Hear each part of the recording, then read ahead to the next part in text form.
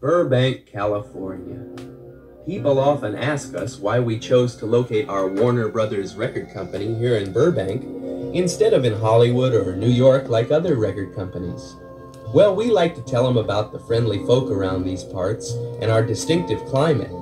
Then we remind them about the plastic and the fact that we happen to be situated right over the world's largest and richest deposit of pure vinyl.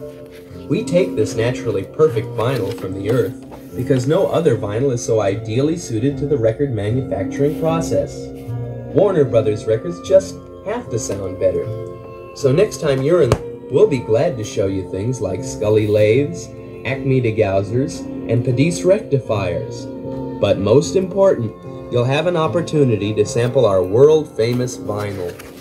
Next time your ears are thirsty, remember, Warner Brothers Records. It's the plastic.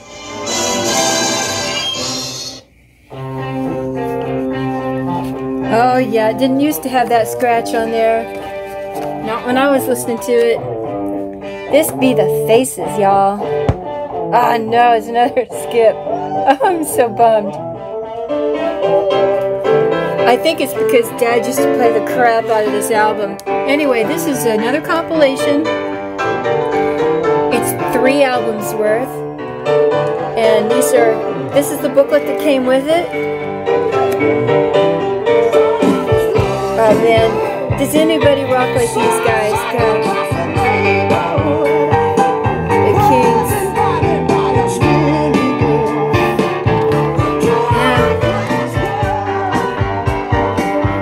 So there's at least one song from each one of these. Um, was trying to see what Beach Boy song was on there. Pretty cool. Hey, Sweetwater. I was thinking of Stillwater. Another Captain Beefheart. The Mothers.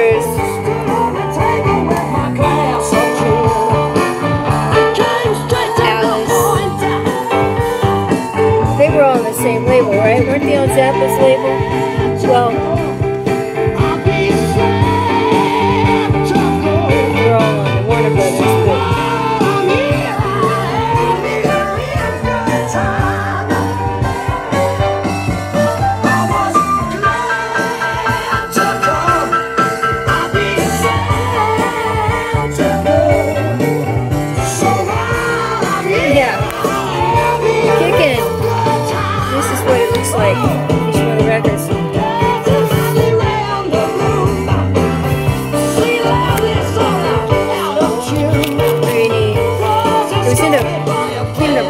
but my box is uh,